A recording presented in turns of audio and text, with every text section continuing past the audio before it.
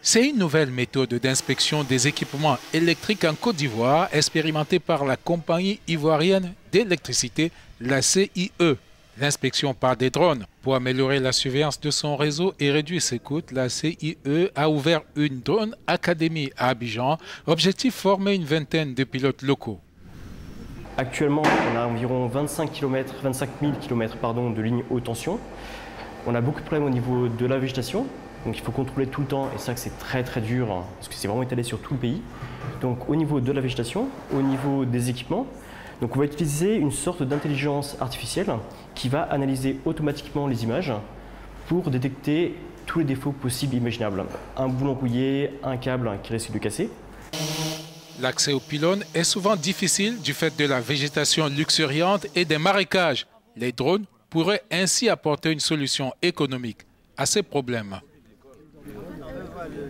Les drones vont nous permettre euh, d'inspecter nos ouvrages, d'assurer leur sécurité de manière beaucoup plus fine que par le passé et d'optimiser également nos coûts de surveillance et d'inspection.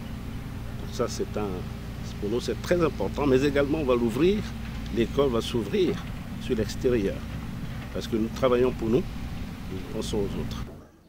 Durant leur survol, les drones sont munis de caméras et de capteurs thermiques et lasers.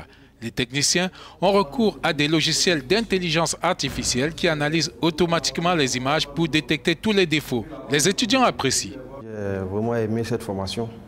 Déjà avec euh, tout ce qu'on a pu apprendre sur les logiciels et aussi le drone, à piloter le drone. Aujourd'hui avec M. Maton, on sait déjà comment on peut monter, monter un drone. C'est vraiment quelque chose d'extraordinaire.